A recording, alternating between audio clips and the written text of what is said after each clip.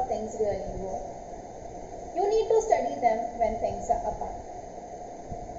It begins from a thought, becomes an idea, and still remains a dream until a few of us steps out boldly to make that dream come true. Here's to the engineers, the engineer of bigger, brighter future.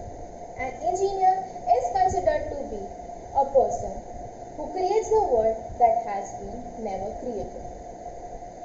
To all those outstanding engineers, the Engineer Day is celebrated in India every 15th September.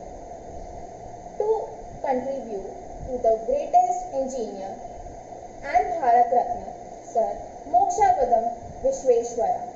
He was an eminent engineer and he was an idealistic person who believed in simple living and high thinking.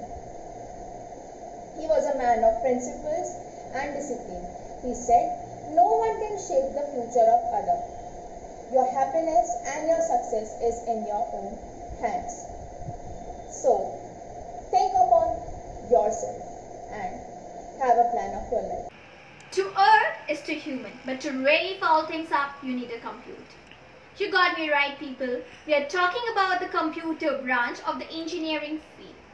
Today, computer science is not all about computers as astronomy is about telescope. I'm saying this because the rise in Google, Instagram, Apple are proofs that computer science provides us with a solution for solving our day-to-day life problems. Everyone can write a code that a computer can understand, but only a few can write a code that people can understand as well. Computer science, it not only provides us with the skills that helps us in solving our day-to-day life problems, but it also provides us with an opportunity for upskilling ourselves. So, for taking this idea forward, the members of Shree Swaminarayan Institute of Technology have introduced the concept of Ideathon.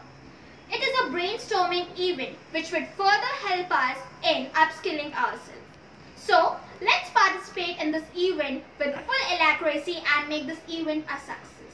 At last, I would like to wish you all a very happy Engineers Day.